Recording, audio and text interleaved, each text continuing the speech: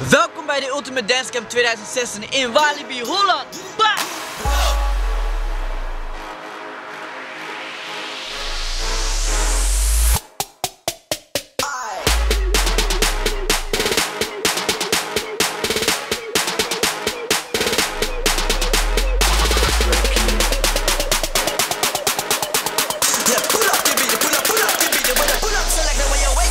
Yeah.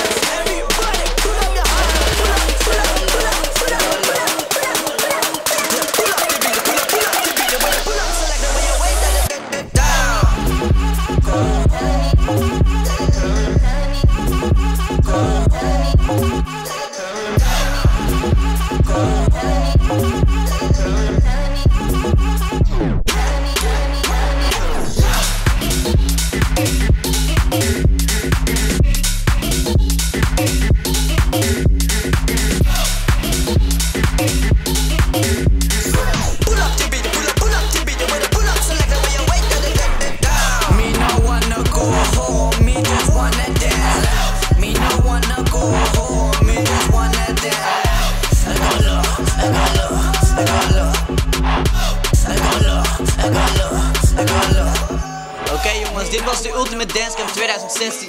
Tot volgend jaar!